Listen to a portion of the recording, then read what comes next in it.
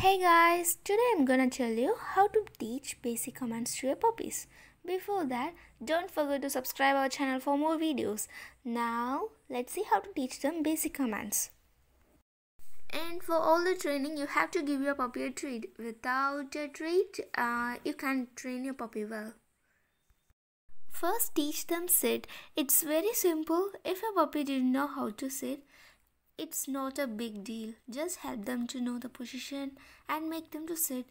Then give them a treat. Repeat it as much as you can until it became a pro in it. Sit.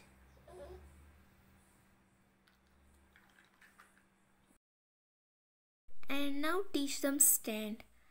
Uh, it's very simple. Just let them know the position and make them to stand.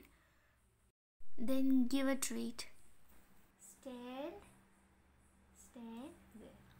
And repeat it. Sit. And now let's teach them the command down.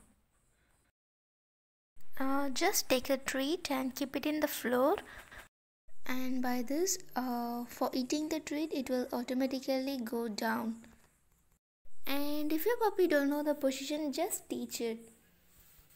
And there is nothing wrong learning new things you know.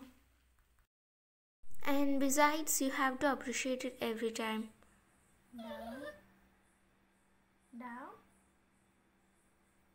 Good. and make sure to repeat this every day so that your puppy won't forget it. It's learning a new language so it's always okay for us to be patient while training our puppy that's the end of the video guys. If you like this video please like comment and subscribe. See ya